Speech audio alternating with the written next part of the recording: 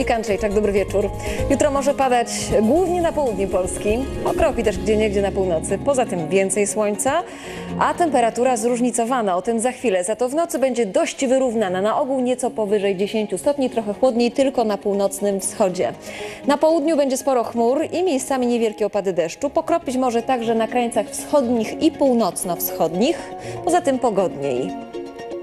Wiatr na południu kraju słaby, w głębi Polski i na północy umiarkowany, a nad morzem jeszcze porywisty do około 50-60 km na godzinę z kierunków zachodnich. W dniach wraca słoneczne i cieplejsze lato.